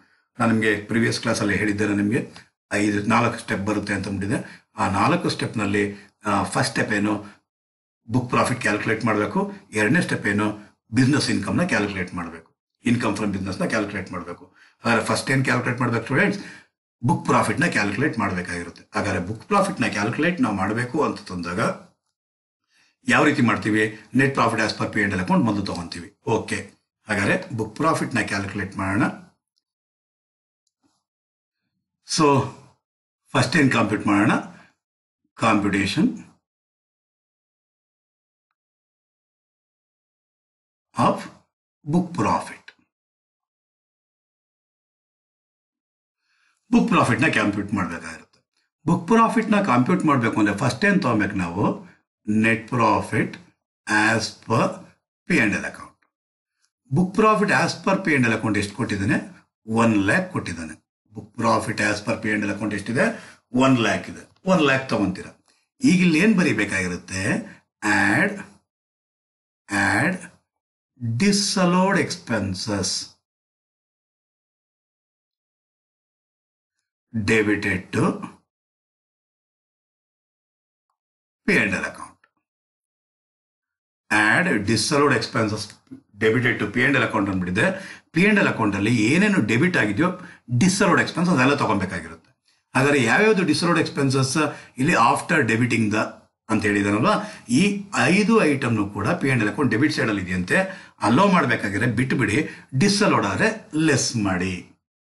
ಕ್ಲಿಯರ್ ಸ್ಟೂಡೆಂಟ್ಸ್ ಓಕೆ, ಹಾಗಾದ್ರೆ ಸ್ಯಾಲರಿ, ಯಾರು ಸ್ಯಾಲರಿ? ಸ್ಯಾಲರಿ ಎಂಪ್ಲಾಯೀಸ್ ಆದರೆ ಅಲ್ಲೋಡ್ ಬಿಟ್ಬಿಡಿ. ಇಲ್ಲಿ ರಾಮ್, ಎರಡು ಲಕ್ಷ, ಸಾರಿ, ಇಪ್ಪತ್ತು ಸಾವಿರ, ಹದಿನೈದು ಸಾವಿರ. ಹಾಗಾದ್ರೆ ಸ್ಯಾಲರಿ ಯಾರ್ದು? ರಾಮ್ದು. ರಾಮ್ ಸ್ಯಾಲ್ರಿ ಎಷ್ಟು? ಇಪ್ಪತ್ತು ಸಾವಿರ. ಆಮೇಲೆ ಶ್ಯಾಮ್ ಸ್ಯಾಲ್ರಿ ಎಷ್ಟು? ಹದಿನೈದು ಸಾವಿರ. Okay bonus to Kiran bonus ಅಂದ್ರೆ ಕಿರಣ್ ಯಾರು? ಪಾರ್ಟ್ನರ್ ಬೋನಸ್ ಯಾರಿಗೆ? ಕಿರಣ್ಗೆ ಎಷ್ಟು? ಹದಿನೈದು ಸಾವಿರ. ಓಕೆ ನೆಕ್ಸ್ಟ್ ಅದಾದ್ಮೇಲೆ ಇಂಟ್ರೆಸ್ಟ್ ಆನ್ ಕ್ಯಾಪಿಟಲ್ ಹೌದಾ? In excess of specified limit in excess of specified limit ಅಂದರೆ ಏನು ಲಿಮಿಟ್ ಇದೆಯೋ ಅದಕ್ಕಿಂತ ಎಕ್ಸಸ್ ಆಗಿ ತೊಗೊಂಡಿದ್ದಾನೆ. ಎಷ್ಟು ತೊಗೊಬೇಕಾಗಿರುತ್ತೋ ಅಷ್ಟೇ ತೊಗೊಬೇಕು. ಅದಕ್ಕಿಂತ ಜಾಸ್ತಿ ತೊಗೊಂಡು ಏನಾಗುತ್ತೆ ಸ್ಟೂಡೆಂಟ್ ಡಿಸಲೋ ಆಗಿರುತ್ತೆ. ಹಾಗಾದರೆ interest on capital interest on capital ಎಷ್ಟು ಎಕ್ಸಸ್ ತೊಗೊಂಡಿದ್ದಾನೆ? ಟೂ ತೌಸಂಡ್ ಎಕ್ಸಸ್ ಇದೆ ಅಂತ ಅಷ್ಟು ಡಿಸಲೋಡ್ ಆಗಿರುತ್ತೆ next rupees two lakh paid for rent of the premises ಪ್ರಿಮೈಸಸ್ಗೆ ಬಾಡಿಗೆ ಕೊಟ್ಟಿದ್ದಾನಂತೆ. ಕೊಡಬೇಕಾಗಿತ್ತು. ಕೊಟ್ಟಿದ್ದಾನೆ. Allowed as a business expenses ಕೈ ಮುಗಿದು ಬಿಟ್ಟು ಬಿಡಿ. Then commission commission of rupees five thousand was given to Kiran. ಅಂದರೆ ಕಮಿಷನ್ ಟು ಪಾರ್ಟ್ನರ್ಸ್, ಕಮಿಷನ್ ಯಾರಿಗೆ? ಕಿರಣ್ಗೆ. ಎಷ್ಟು? ಫೈವ್ ತೌಸಂಡ್ ಅಂತ. ಐಟಮ್ಸ್ ಅಷ್ಟೇ ಇರೋದು. ಸೊ ಇಷ್ಟನ್ನು ಕೂಡ ಏನು ಮಾಡಬೇಕಾಗಿರುತ್ತೆ ನಾವು? ಆ್ಯಡ್ ಮಾಡಬೇಕಾಗಿರುತ್ತೆ. ಇಪ್ಪತ್ತು, ಹದಿನೈದು ಹದಿನೈದು ಮೂವತ್ತೈದು ಐವತ್ತು, ಐವತ್ತ ಏಳು ಸಾವಿರ. ಫಿಫ್ಟಿ ಸೆವೆನ್ ತೌಸಂಡ್ ಹಾಗಾದ್ರೆ ಬರೋದು one lakh fifty seven thousand ಅನ್ನೋದೇ ಏನಾಗಿರುತ್ತೆ ಸ್ಟೂಡೆಂಟ್ಸ್ ಬುಕ್ ಪ್ರಾಫಿಟ್ ಆಗಿರುತ್ತೆ. ಅದೇ ಅದೇನೇ ಏನಾಗಿರುತ್ತೆ? ಬುಕ್ ಪ್ರಾಫಿಟ್ ಆಗಿರುತ್ತೆ. ಹಾಗಾದ್ರೆ ಈಗ ನಾವು ಮಾಡಬೇಕಾಗಿರೋದು ಕ್ಲಿಯರ್ ಸ್ಟೂಡೆಂಟ್ಸ್ ಬುಕ್ ಪ್ರಾಫಿಟ್ ಬಂದಿದೆ. ಹಾಗಾದ್ರೆ ಬುಕ್ ಪ್ರಾಫಿಟ್ ಬಂದ ನಂತರ ನಾವೇನ್ ಮಾಡಬೇಕಾಗಿರೋದು? ಇನ್ಕಮ್ ಫ್ರಮ್ ಬಿಸ್ನೆಸ್ ಕ್ಯಾಲ್ಕುಲೇಟ್ ಮಾಡಬೇಕು ಅಂತ ಹೇಳಿದ್ದೀನಿ ಬುಕ್ ಪ್ರಾಫಿಟ್ ಮಾಡೋದು ಫಸ್ಟ್ ಸ್ಟೆಪ್ ಎರಡನೇ ಸ್ಟೆಪ್ಪಲ್ಲಿ ಎರಡು ಥರ ಮಾಡ್ಬೋದು ಅಂತ ಹೇಳಿದ್ದೆ ನಾನು ನಿಮಗೆ. ಮೂರು ಸ್ಟೇಟ್ಮೆಂಟ್ ಮಾಡಬೇಕಾಗುತ್ತೆ. ಅದಕ್ಕೆ ಬದಲ ಒಂದರಲ್ಲೇ ಮಾಡಬೇಕು, ಯಾವ ರೀತಿ ಮಾಡಬೇಕು ಅಂತ ಹೇಳ್ಕೊಟ್ಟಿದ್ದೆ ನಾನು ನಿಮಗೆ. ಅದೇ ರೀತಿಯಲ್ಲಿ ನಾನು ಮಾಡೋಕ್ಕೆ ಪ್ರಾಕ್ಟೀಸ್ ಮಾಡ್ತಾ ಇದ್ದೀನಿ. ನೀವು ಅದನ್ನು ಪ್ರಾಕ್ಟೀಸ್ ಮಾಡ್ಕೊಳ್ಳಿ. ಓಕೆ ಲಾಸ್ಟ್ ಪ್ರಾಬ್ಲಮ್ ಏನು ಸಾಲ್ವ್ ಮಾಡಿದೆ? ಇಪ್ಪತ್ತನೇ ಪ್ರಾಬ್ಲಮ್ ಅದು ಮೂರು ಸ್ಟೆಪ್ ಇರೋವಂಥದ್ದು ಮೂರು ಸ್ಟೆಪ್ ಇರೋವಂಥದ್ದು ಬೇಡ. ಇದನ್ನು ನಾನು ಮಾಡೋಕ್ಕೆ ಪ್ರಯತ್ನ ಪಡ್ತೀನಿ. ನೀವು ಅದನ್ನೇ ಪ್ರಯತ್ನ ಪಡಿ ಅಂತ ರಿಕ್ವೆಸ್ಟ್ ಮಾಡ್ಕೊತಾ ಇದ್ದೀನಿ ಸ್ಟೂಡೆಂಟ್ಸ್ ಓಕೆ ಹಾಗಾದರೆ ಕಾಂಪ್ಯೂಟೇಷನ್ ಕ್ಯಾಲ್ಕುಲೇಷನ್ ಅಂತ ಬರಿಬಾರದು. ಕಾಂಪ್ಯೂಟೇಷನ್ ಆಫ್ ಏನು? Income from business okay of a firm income from business ಹೇಗೆ ಬರುತ್ತೆ? ಫಸ್ಟ್ ನಾವು ತಗೊಬೇಕಾಗಿರೋದು ಬುಕ್ ಪ್ರಾಫಿಟ್ ತಗೊಬೇಕು. ಏನು ತಗೊಬೇಕು? ಬುಕ್ ಪ್ರಾಫಿಟ್ ತಗೊಬೇಕು. ಬುಕ್ ಪ್ರಾಫಿಟ್ ಎಷ್ಟು ಬಂದಿರೋದು? One lakh fifty seven thousand ಇದರಲ್ಲಿ ಏನು ಕಳಿಬೇಕು ನಾವು? ಇದರಲ್ಲಿ ಏನು ಕಳಿಬೇಕು? Less allowable remuneration allowable remuneration ಕಳಿಬೇಕು. ಹೆಂಗ್ ಬರುತ್ತೆ allowable remuneration least of the following following ಎಷ್ಟು ಅಮೌಂಟ್ ಅಲ್ಲಿ? Least of the following two amounts ಹಾಗಾದ್ರೆ ಫಸ್ಟ್ ಒನ್ ಎ ಎ ಏನು? Actual actual remuneration received as per partnership deed ನೀವು ಬರೀಬೇಕು. As per partnership deed actual remuneration ಎಷ್ಟನ್ನು ಪಡೆದಿರುವಂತಹದ್ದು? ಲೆಕ್ಕ ಹಾಕೊಳ್ಳಿ ಇಪ್ಪತ್ತು ಸಾವಿರ, ಹದಿನೈದು ಸಾವಿರ ಹದಿನೈದು ಸಾವಿರ, ಕಮಿಷನ್ ಐದು ಸಾವಿರ. ಹಾಗಾದರೆ ಇಪ್ಪತ್ತು, ಹದಿನೈದು ಹದಿನೈದು, ಮೂವತ್ತು, ಐವತ್ತು, ಐದು, ಐವತ್ತೈದು ಸಾವಿರ. ಆ್ಯಕ್ಚುಯಲ್ ರೆಮ್ಯುನರೇಷನ್ ರಿಸೀವ್ ಮಾಡಿರೋದು ಎಷ್ಟು? ಐವತ್ತೈದು ಸಾವಿರ. ಇದು ಒಂದು ಅಮೌಂಟ್ ಆಯಿತು. ಅರ್ಥ ಆಗ್ತಿದೆ ಸ್ಟೂಡೆಂಟ್ಸ್ ನೋಡ್ರಿ ಬುಕ್ ಪ್ರಾಫಿಟ್ನ ಲಾಸ್ಟ್ ಕಾಲಮಲ್ಲಿ ಇಟ್ಟೆ ಆಕ್ಚುಯಲ್ ರೆಂಟ್ ರೆಮ್ಯುನರೇಷನ್ ರಿಸೀವ್ನ ಎರಡನೇ ಕಾಲಮಲ್ಲಿ ಇಟ್ಟಿದ್ದೀನಿ ಈಗ ಆರ್ ಅಥವಾ ಯಾವ್ದು ಬರಿಬೇಕಾಗಿರೋದು B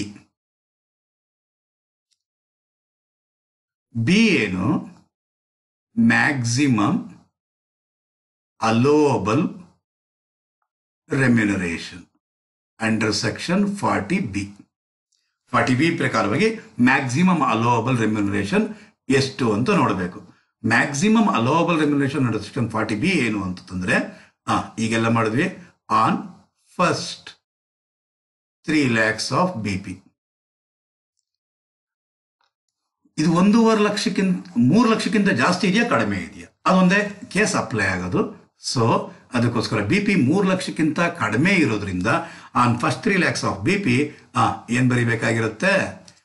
Ninety percent ninety percent of B P or one lakh fifty thousand whichever is higher ತಗೊಬೇಕಾಗಿರುತ್ತೆ ಹಾಗಾದ್ರೆ ninety percent of B P ಅಂತಂದ್ರೆ ನೈಂಟಿ ಪರ್ಸೆಂಟ್ ಅಂದರೆ ninety divide by hundred into P P ಎಷ್ಟಿರೋದು one lakh fifty seven thousand or rupees one lakh fifty thousand whichever is higher ಹಾಗಾದರೆ one lakh fifty seven thousand into ninety percent ಅಂದರೆ ಬರೋದು one lakh forty one thousand three hundred or one lakh fifty thousand whichever is higher ಈ ಮೂರರಲ್ಲಿ ಯಾವುದು high, ಇವೆರಡರಲ್ಲಿ ಐದು, ಯಾವುದು higher ಆಗಿದೆ? ಒಂದೂವರೆ ಲಕ್ಷ ಹೈಯರ್ ಆಗಿದೆ. ಹಾಗಾದರೆ one lakh fifty thousand on balance of B P on balance of B P ಆ ಬ್ಯಾಲೆನ್ಸ್ ಅನ್ನೋದು ಮೂರು ಲಕ್ಷದ ಒಳಗಡೆ ಇರೋದ್ರಿಂದ ಆ ಅಮೌಂಟ್ ಬರೋದಿಲ್ಲ. ಹಾಗಾದ್ರೆ ಈಗ ನೋಡಿ, ಈ ಒಂದೂವರೆ ಲಕ್ಷಕ್ಕೆ ಸೊನ್ನೆನ ಕೂಡಿದ್ರೆ ಬರೋದು ಒಂದೂವರೆ ಲಕ್ಷ. ಆಕ್ಚುಯಲ್ ರೆಮ್ಯುನರೇಷನ್ ರಿಸೀವ್ ಮಾಡಿರೋದು ಐವತ್ತೈದು ಸಾವಿರ. ಅಲೋಬಲ್ ಆಗಿರೋದು ಬರೀ ಒಂದೂವರೆ ಲಕ್ಷ. ಬರೀ ಒಂದೂವರೆ ಲಕ್ಷ ರಿಸೀವ್ ಮಾಡಿದಾನೆ ಒಂದೂವರೆ ಲಕ್ಷದವರೆಗೂ ಕ್ಲೈಮ್ ಮಾಡ್ಬೋದಾಗಿತ್ತು ಅವನು. ಒಂದೂವರೆ ಲಕ್ಷ ಕ್ಲೈಮ್ ಮಾಡೋಕ್ಕಾಗಲ್ಲ. ಇವೆರಡರಲ್ಲಿ ಯಾವುದು ಕಡಿಮೆ ಇದೆಯೋ ಅದನ್ನು ತಗೊಬೇಕು. ಯಾವುದು ಕಡಿಮೆ ಇದೆ? ಯಾವುದು ಕಡಿಮೆ ಇದೆ? ಐವತ್ತ ಐದು ಸಾವಿರ ರೂಪಾಯಿ ಅಲೋಬಲ್ ಆಗಿರುತ್ತೆ ಹಾಗಾದರೆ ಹಾಗಾದರೆ, ಆ ಒನ್ ಲ್ಯಾಕ್ ಫಿಫ್ಟಿ ಸೆವೆನ್ ತೌಸಂಡ್ನಲ್ಲಿ ಫಿಫ್ಟಿ ಫೈವ್ ತೌಸಂಡ್ನ ಕಳಿರಿ, ಬರುವಂತಹ ಒನ್ ಲ್ಯಾಕ್ ಟೂ ತೌಸಂಡ್ ಅನ್ನೋದನ್ನೇ ಇನ್ಕಮ್ ಫ್ರಮ್ ಬಿಸ್ನೆಸ್ ಅಂತ ಹೇಳ್ತೀವಿ ಸ್ಟೂಡೆಂಟ್ಸ್ ಇನ್ಕಮ್ ಫ್ರಮ್ ಬಿಸ್ನೆಸ್ ಇದನ್ನ ಮೂರು ಟೇಬಲ್ ಹಾಕಿ ಮಾಡಬೇಕಾಗಿತ್ತು. ಒಂದೇ ಟೇಬಲಲ್ಲಿ ಸಿಂಪಲ್ ಆಗಿ ಈ ರೀತಿ ಮಾಡ್ಬೋದು. ಅದನ್ನೇ computation of income from business ಇದನ್ನೇ ಪ್ರಾಕ್ಟೀಸ್ ಮಾಡಿ ಸ್ಟೂಡೆಂಟ್ ನಾಲ್ಕು ಸಲ ಇದೇ ಪ್ರಾಬ್ಲಮ್ ಮಾಡಿ ನಿಮ್ಗೆ ಆಟೋಮೆಟಿಕ್ ಆಗಿ ಇದೇ ರೀತಿನೇ ಬಂದ್ಬಿಡುತ್ತೆ ಸರ್ ಲಾಸ್ಟ್ ಪ್ರಾಬ್ಲಮ್ ಯಾಕೆ ಹಾಗೆ ಮಾಡಿದ್ರಿ ಅಂದರೆ ಆ ಪ್ರಾಬ್ಲಮಲ್ಲಿ ಅವನು ಇನ್ಕಮ್ ಫ್ರಮ್ ಬಿಸ್ನೆಸ್ನ ಕೇಳಿಲ್ಲ. ಅವನೇನು ಕೇಳಿದ? ನಾನು ಜಸ್ಟ್ ಅಲೋಬಲ್ ರೆಮ್ಯುರೇಷನ್ ಕೇಳಿದ್ದಾನೆ. ಅಲೋಬಲ್ ರೆಮ್ಯುರೇಷನ್ ಕೇಳಿದ್ರು ಕೂಡ ನೀವು ಇನ್ಕಮ್ ಫ್ರಮ್ ಬಿಸ್ನೆಸ್ನ ಕಂಪ್ಯೂಟ್ ಮಾಡಿದ್ರ ಅಂದರೆ ಅವನು ಫುಲ್ ಮಾರ್ಕ್ಸ್ ಕೊಡ್ತಾನೆ students no worry clear students ಹಾಗಾದರೆ ಈಗ ನಾವು ಮಾಡಿದ್ದು ಇಪ್ಪತ್ತ ಒಂದನೇ ಪ್ರಾಬ್ಲಮ್ ಸ್ಟೂಡೆಂಟ್ಸ್ ಬನ್ನಿ ಸ್ಟೂಡೆಂಟ್ಸ್ ಈಗ ಇಪ್ಪತ್ತ ಎರಡನೇ ಪ್ರಾಬ್ಲಮ್ ಈ ಪ್ರಾಬ್ಲಮ್ಗೆ ನಾನೊಂದು ಸ್ಟಾರ್ ಮಾರ್ಕ್ ಕೊಟ್ಟಿದ್ದೀನಿ.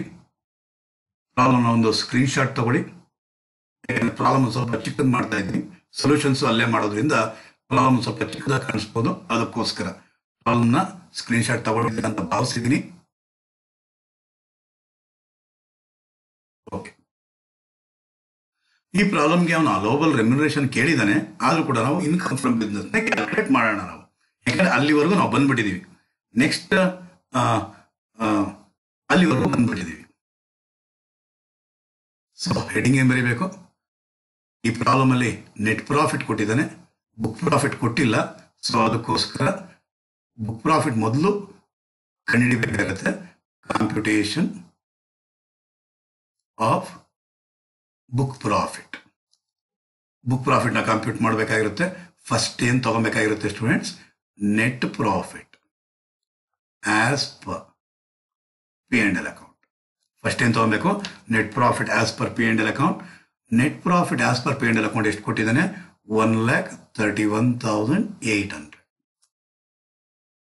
most most most most important after considering the following items ಅಂತ ಹೇಳಿದ್ದಾನೆ students after considering the following items ಅಂದ್ರೆ ಈ ಕೆಳಗೆ ಕೊಟ್ಟಿರುವಂತಹ ಎಲ್ಲ ಐಟಮ್ನು ಕೂಡ P and L account debit side ಅಲ್ಲಿ ತಗೊಂಡ್ಬಿಟ್ಟಿದ್ದಾನೆ.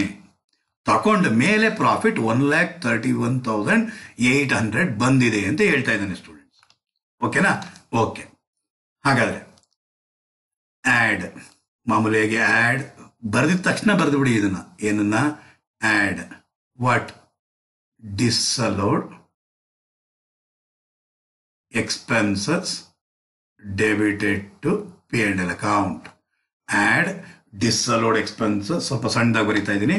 ಹೇಳ್ತಾ ಇದ್ದೀನಿ, ಏನು ಬರಿಬೇಕು ಅನ್ನೋದು ಕೇಳಿಸ್ಕೊಂತಾ ಇದ್ದೀರಾ ಅನ್ಕೊಂತಿದ್ದೀನಿ.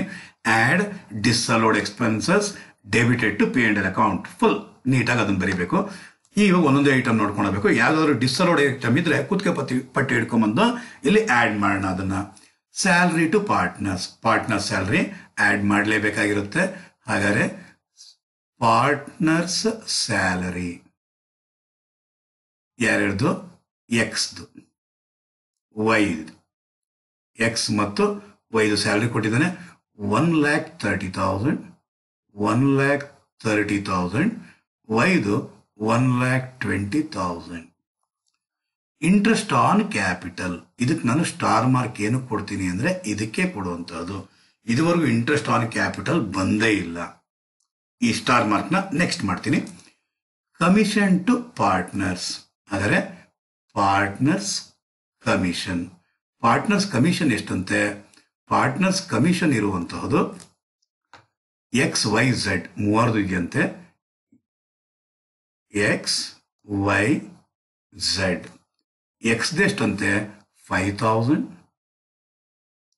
ವೈದೆಷ್ಟಂತೆ twelve thousand five hundred ಝೆಡ್ದೆಷ್ಟಂತೆ seventeen thousand five hundred okay ಇದು ಆಗೋಯ್ತು.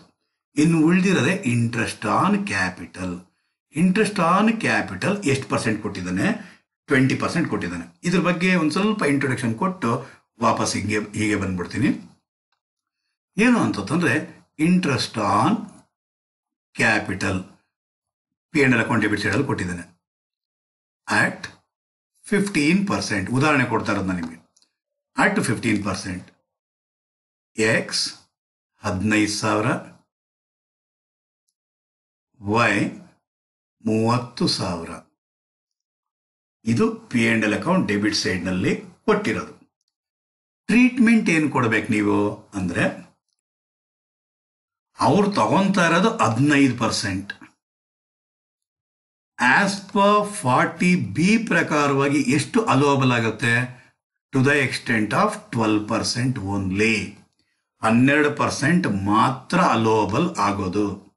ಹನ್ನೆರಡು ಪರ್ಸೆಂಟ್ ಮಾತ್ರ ಅಲೋಬಲ್ ಆಗುತ್ತೆ ಅಂದ್ರೆ ಎಷ್ಟು ಪರ್ಸೆಂಟ್ ತಗೊಂಡಿರೋದವನು ಹದಿನೈದು ಪರ್ಸೆಂಟ್ ಹಾಗಾದ್ರೆ ಹಾಗಾದ್ರೆ ಇನ್ನು ಎಷ್ಟು ಪರ್ಸೆಂಟ್ ಜಾಸ್ತಿ ಆಗಿಬಿಟ್ಟಿದೆ, ಮೂರು ಪರ್ಸೆಂಟ್ ಜಾಸ್ತಿ ಆಗಿಬಿಟ್ಟಿದೆ. ಕ್ಲಿಯರ್ ಸ್ಟೂಡೆಂಟ್ಸ್ ಹಾಗಾದ್ರೆ interest on capital interest on capital ಏನು ಮಾಡಬೇಕಾಗಿರುತ್ತೆ ನಾವು ಅಂದ್ರೆ ಎಕ್ಸ್ದು ಹದಿನೈದು ಸಾವಿರ ಇಂಟು ಹದಿನೈದು ಬೈ ಹಂಡ್ರೆಡ್ ಮಾಡಬಾರ್ದು. ತ್ರೀ ಬೈ ಹಂಡ್ರೆಡ್ ಮಾಡಬಾರ್ದು. ಇದು ಇಂಟ್ರೆಸ್ಟ್ ಅಮೌಂಟ್ ಇದು. ಹಂಡ್ರೆಡ್ ಪರ್ಸೆಂಟ್ ಅಮೌಂಟ್ ಅಲ್ಲ ಇದು. ಇದು ಇಂಟ್ರೆಸ್ಟ್ ಅಮೌಂಟ್ ಹಾಗಾದರೆ ಹದಿನೈದು ಸಾವಿರ ಅನ್ನೋದು ಎಷ್ಟು ಪರ್ಸೆಂಟ್ಗೆ ಹದಿನೈದು ಪರ್ಸೆಂಟ್ಗೆ ನಾವು ಬೇಕಾಗಿರೋದು ಎಷ್ಟು ಪರ್ಸೆಂಟ್ಗೆ ಹನ್ನೆರಡು ಪರ್ಸೆಂಟ್ವರೆಗೂ ಅಲೋಡ್ ಹನ್ನೆರಡು ಪರ್ಸೆಂಟ್ಗಿಂತ ಜಾಸ್ತಿ ಎಷ್ಟು ಪರ್ಸೆಂಟ್ ಇದೆ?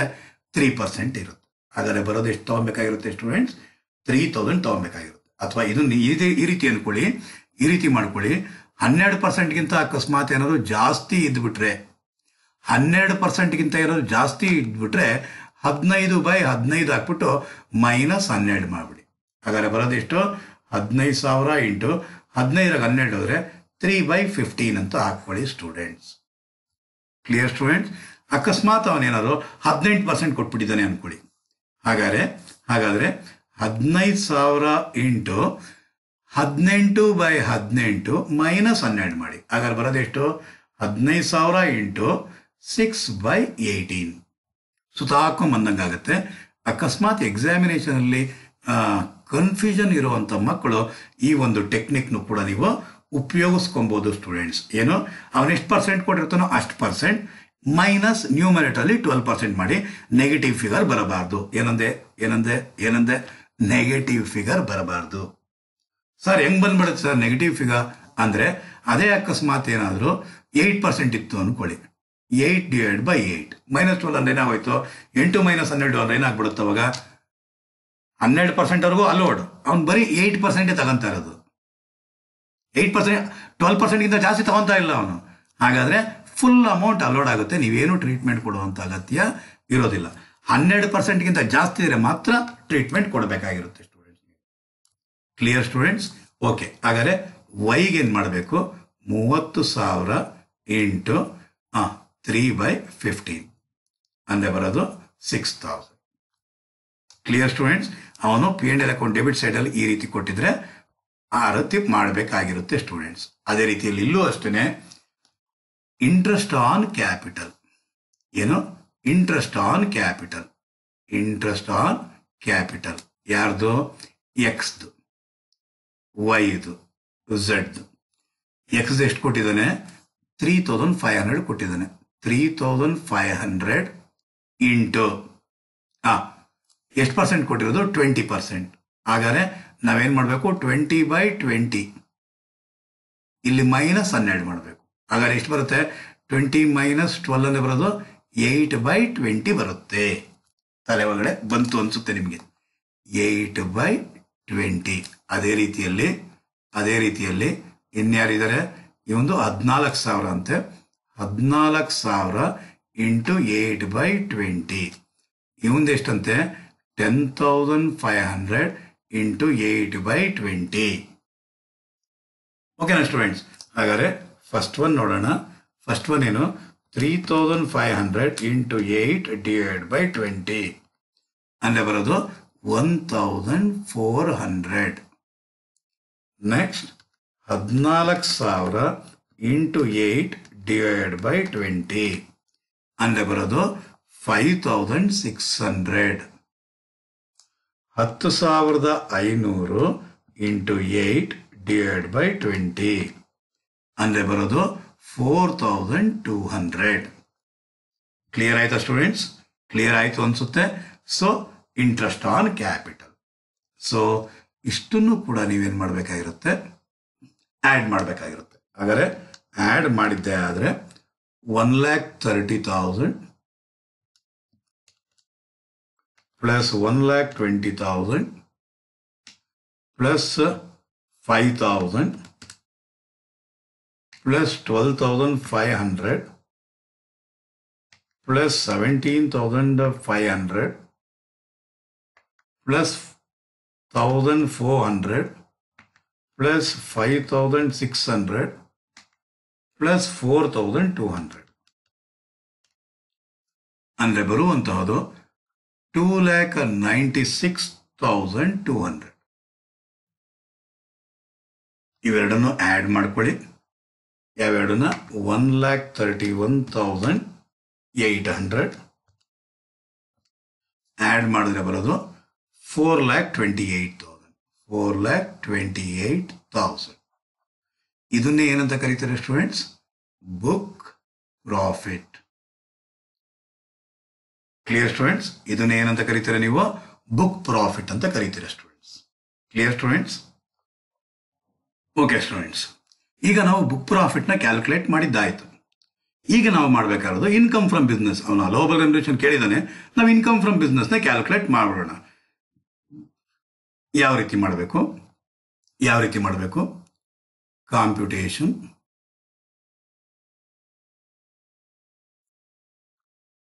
of income from business income from business of a ಫರ್ಮ್ನ calculate ಮಾಡಬೇಕು. ಅದಕ್ಕೆ ಮೊದಲು ನಾವು ತಗೊಬೇಕಾಗಿರೋದು book profit book profit book ಪ್ರಾಫಿಟ್ನ last ಕಾಲಮಲ್ಲಿ ತಗೊಬೇಕು. ಎಷ್ಟು ಬಂದಿದೆ? Four lakh twenty eight thousand clear students ಇದರಲ್ಲಿ ಏನು ಮಾಡಬೇಕಾಗಿರುತ್ತೆ ನಾವು? ಅಲೋವಬಲ್ ರೆಮ್ಯುರೇಷನ್ ಲೆಸ್ ಮಾಡಬೇಕು. Less allowable remuneration under section forty B underline ಮಾಡ್ತೀರಾ? ಇದರಲ್ಲಿ ಏನು ಮಾಡಬೇಕಾಗಿರುತ್ತೆ ನೀವೀಗ? Less allowable remuneration under section forty B ಇದರಲ್ಲಿ ಏನು ಮಾಡ್ಬೇಕು ನಾವು? ಅಲೋಬಲ್ ರೆಮ್ಯುನೇಷನ್ ಬೇಕು ಅಂದ್ರೆ ಏನು ಮಾಡಬೇಕು? Least of the following least of the following ಅಂದ್ರೆ ಕಡಿಮೆ ಇರಬೇಕು. ಯಾವರಲ್ಲಿ ಈ ಕೆಳಗಂಡಂದಿರೋದ್ರಲ್ಲಿ ಎಷ್ಟು ಐಟಮ್ ಇರುತ್ತೆ? ಎರಡು ಐಟಮ್ ಇರುತ್ತೆ. ಅದರಲ್ಲಿ ಒಂದು ಐಟಮ್ ಏನು? ಒಂದು ಐಟಮ್ ಏನು? ಹಾ.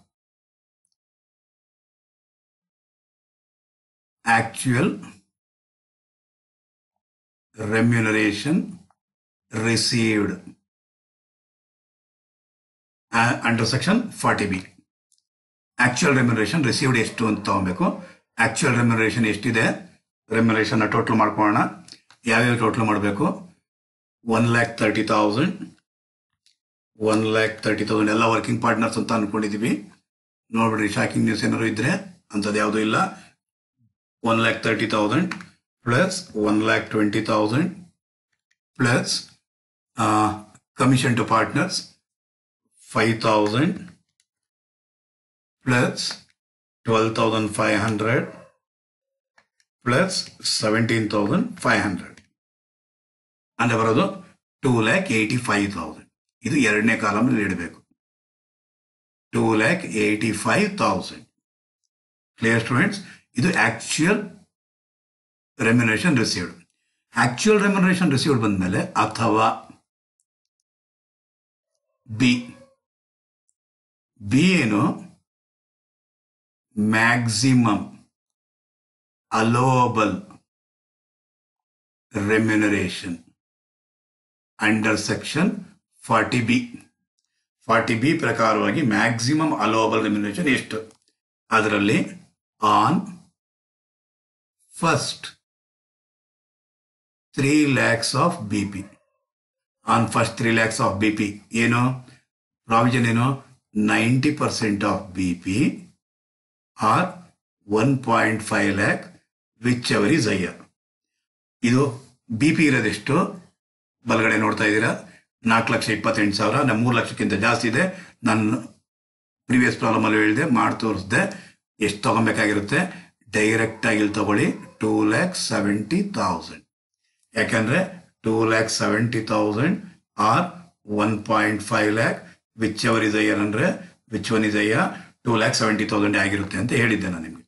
Next on balance of B P on balance of B P on balance of B P ಎಷ್ಟು percent sixty percent sixty percent of balance of B P B P ಇರೋದೆಷ್ಟು four lakh twenty eight thousand ಹಾಗಾದ್ರೆ four lakh twenty eight thousand minus three lakh ಅಂದ್ರೆ ಬರೋದು one lakh twenty eight thousand into ಎಷ್ಟು percent sixty percent ಹಾಗಾದ್ರೆ one lakh twenty eight thousand into sixty percent ಅಂದ್ರೆ ಬರೋದು seventy six thousand eight hundred 76,800.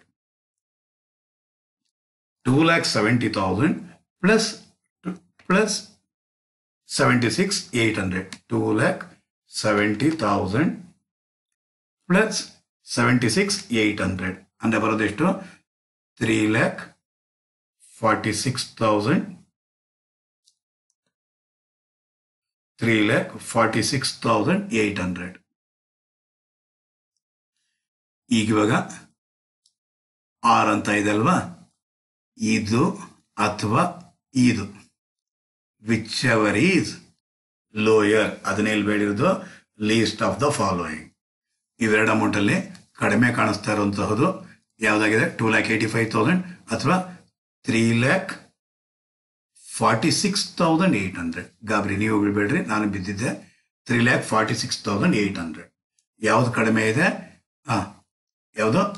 Two lakh eighty five thousand two lakh eighty five thousand ಅವನು ಕೇಳಿರೋ ಪ್ರಶ್ನೆಗೆ ಇದು answer two lakh eighty five thousand ನಾವೊಂದು extra step ಮಾಡ್ತಾ ಇದ್ವಿ. Book profit ಅಲ್ಲಿ ಇದನ್ನ ಕಳೆದು ಬಿಡ್ತಾ ಇದ್ವಿ. ತೊಂದರೆ ಇಲ್ಲ. Three lakh forty sorry two lakh four lakh twenty eight thousand four lakh twenty eight thousand minus two lakh eighty five thousand one lakh forty three thousand one lakh forty three thousand ಇದನ್ನೇ ಏನಾಗಿರುತ್ತೆ ಅಂದ್ರೆ income from business ಆಗಿರುತ್ತೆ. ಇದನ್ನೇನಾಗಿರುತ್ತೆ income from business clear students ಅರ್ಥ ಆಗಿದೆ ಅಂತ ಭಾವಿಸಿದ್ದೀನಿ.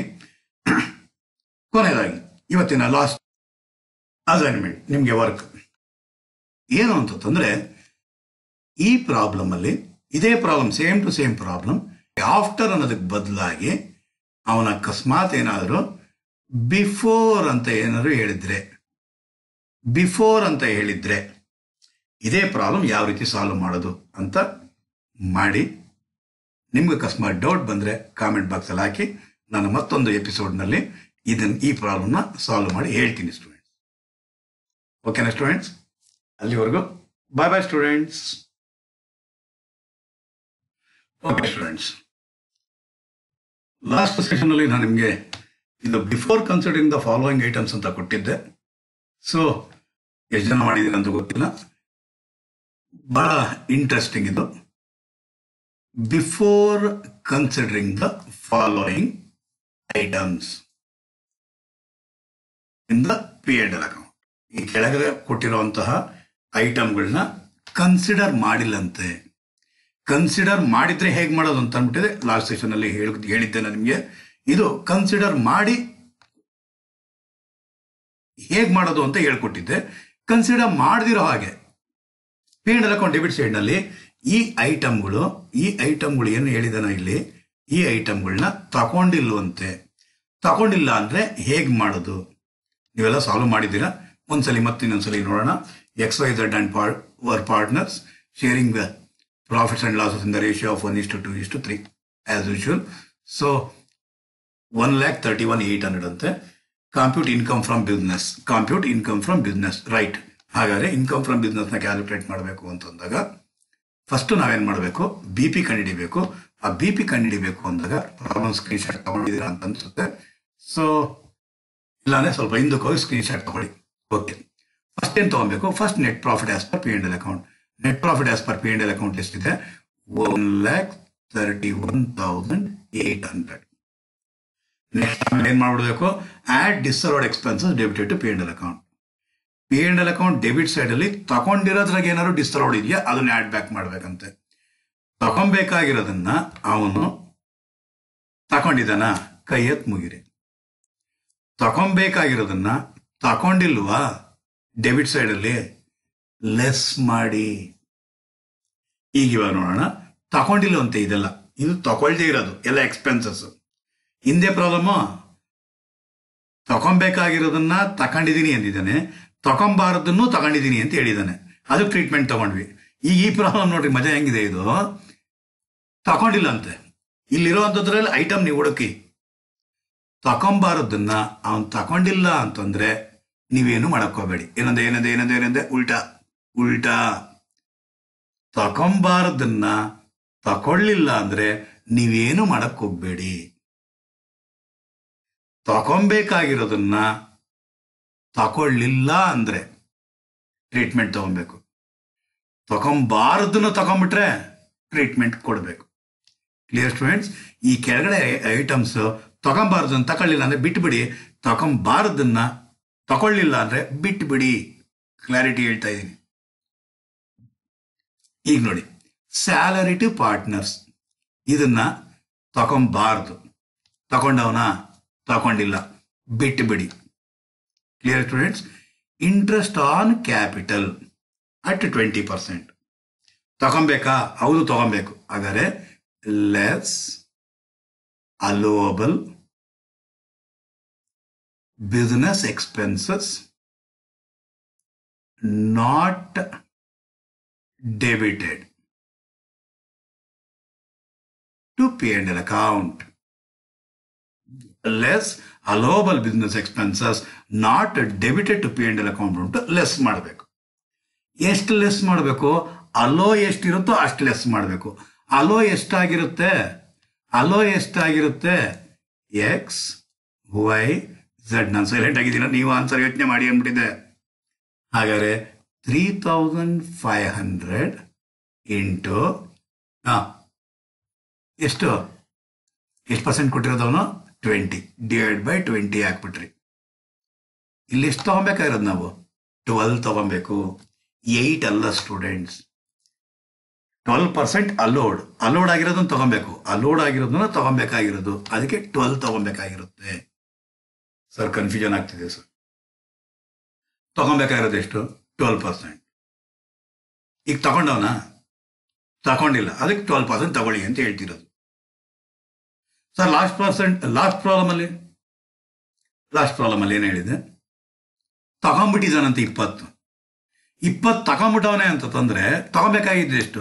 ಹನ್ನೆರಡು. ಹಾಗಾದ್ರೆ ಇನ್ನೆಷ್ಟು ಜಾ ಇನ್ನೆಷ್ಟು ಆ್ಯಡ್ ಬ್ಯಾಕ್ ಮಾಡಬೇಕು? ಎಂಟನ್ನು. ಕ್ಲಾರಿಟಿ ಸಿಗ್ತಾ ಸ್ಟೂಡೆಂಟ್ಸ್ ಎಸ್ ಹಾಗಾದರೆ ಇದೆಷ್ಟಿದು? ಹದಿನಾಲ್ಕು ಸಾವಿರ. ಇಂಟು ಟ್ವೆಲ್ ಬೈ ಟ್ವೆಂಟಿ ಹತ್ತು ಸಾವಿರದ ಐನೂರು ಇಂಟು ಟ್ವೆಲ್ ಬೈ ಟ್ವೆಂಟಿ ಹಾಗಾದರೆ three thousand five hundred into twelve divide by twenty ಅಂದರೆ ಬರೋದು ಟೂ ತೌಸಂಡ್ ಒನ್ ಹಂಡ್ರೆಡ್ ಹದಿನಾಲ್ಕು ಸಾವಿರ into twelve divided by twenty eight thousand four hundred next ten thousand five hundred into twelve divide by twenty six thousand three hundred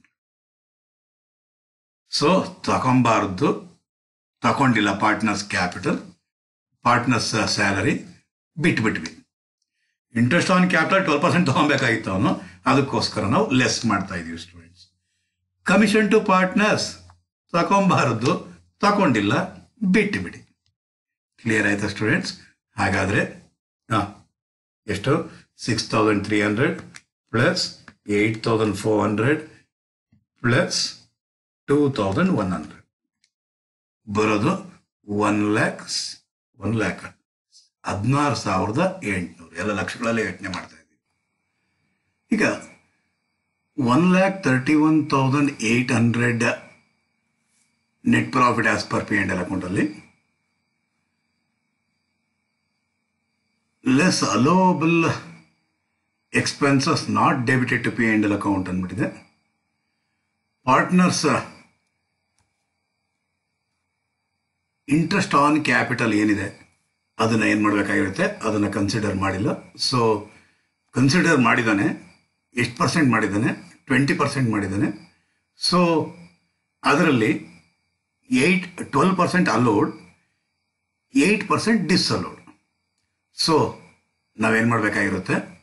twelve ಪರ್ಸೆಂಟ್ನ less ಮಾಡಬೇಕಾಗಿರುತ್ತೆ. One lakh thirty one eight ಹಂಡ್ರೆಡಲ್ಲಿ six sixteen thousand eight hundred ಕಳೆದ್ರೆ. Net profit as per P and L account one lakh thirty one thousand eight ಹಂಡ್ರೆಡಲ್ಲಿ sixteen thousand eight ಹಂಡ್ರೆಡ್ನ deduct ಮಾಡಿದ್ರೆ ಬರುವಂತಹದು one lakh fifteen thousand ಒಂದು ಲಕ್ಷದ ಹದಿನೈದು ಸಾವಿರ. ಅದನ್ನೇ ನಾವೇನಂತ ಕರಿತೀರ? ಬುಕ್ ಪ್ರಾಫಿಟ್ ಅಂತ ಕರಿತೀವಿ ಸ್ಟೂಡೆಂಟ್ಸ್ ಹಾಗಾದರೆ ಬುಕ್ ಪ್ರಾಫಿಟ್ ಎಷ್ಟು ಬಂದಿದೆ? ಒನ್ ಲ್ಯಾಕ್ ಫಿಫ್ಟೀನ್ ತೌಸಂಡ್ ಆ book profit less allowable remuneration under section forty B least of the following two amounts ಯಾವ್ಯಾವಂತೆ? Actual remuneration received ಎಷ್ಟು ಆ್ಯಕ್ಚುಯಲ್ ರೆಮ್ಯುನರೇಷನ್ ರಿಸೀವ್ಡ್ ಇರೋದು? One lakh thirty plus one lakh twenty then commission paid to partners ಇಲ್ಲಿ ನೀವು observe ಮಾಡಬೇಕಾಗಿರುವಂತಹದ್ದು. Five thousand twelve thousand five hundred seventeen thousand five hundred ಇಷ್ಟನ್ನು ಕೂಡ ಏನು ಮಾಡಬೇಕಾಗಿರುತ್ತೆ ನೀವು? Add ಮಾಡಬೇಕಾಗಿರುತ್ತೆ. One lakh thirty thousand plus one lakh twenty thousand plus five thousand plus twelve thousand five hundred plus seventeen thousand five hundred ಅಂದರೆ ಬರೋದು actual remuneration ಎಷ್ಟು students two lakh eighty five thousand ಇಲ್ಲಿ ಇಡ್ತೀರಾ second ಕಾಲಮಲ್ಲಿ ಗೊತ್ತಾಗ್ಬಿಟ್ಟಿದೆ ನಿಮಗೆ. Or ಅಥವಾ maximum allowable remuneration under ಸೆಕ್ಷನ್ನ ಫಾರ್ಟಿ ಬಿ ಎಷ್ಟು? ಬುಕ್ ಪ್ರಾಫಿಟ್ ನಮ್ಮ ಹತ್ರ ಇರೋದು one lakh fifteen thousand one lakh fifteen thousand ಅಂದರೆ ತ್ರೀ ಲ್ಯಾಕ್ಸ್ನ ಒಳಗಡೆ ಬರುತ್ತೆ. ಹಾಗಾದರೆ ನೈಂಟಿ ಪರ್ಸೆಂಟ್ ಆಫ್ ಒಂದು ಲಕ್ಷದ ಹದಿನೈದು ಸಾವಿರ or one point five lakh whichever ಇದೆಯ ಹಾಗಾದರೆ one lakh fifteen thousand into ninety percent. ಅಂದರೆ ಬರೋದು one lakh three thousand five hundred. One lakh three thousand five hundred ಇದನ್ನು ಡ್ಯಾಶ್ ಆಗಿರುತ್ತೆ. ಏನು ಮಾಡಬೇಕಾಗಿರುತ್ತೆ?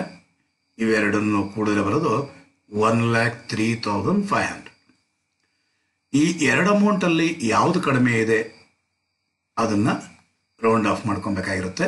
ಇದೇ ಕಡಿಮೆ ಆಗಿರೋದು. ಅದೇ least of the following two amounts ಆಗಿರೋದು.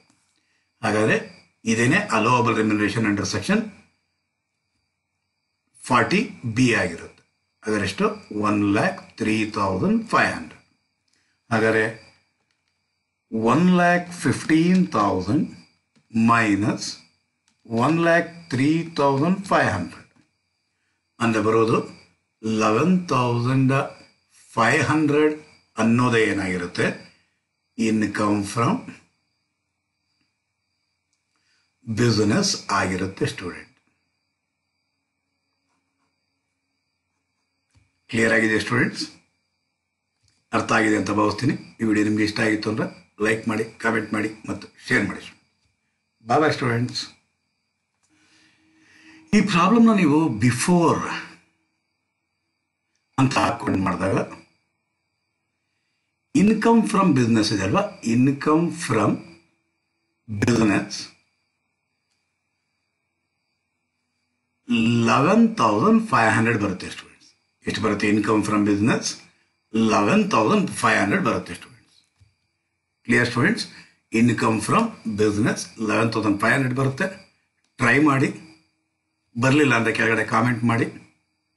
ಆನ್ಸರ್ ಮತ್ತಿನ್ನೊಂದ್ಸಲಿ ಮಾಡ್ತೀನಿ ಸ್ಟೂಡೆಂಟ್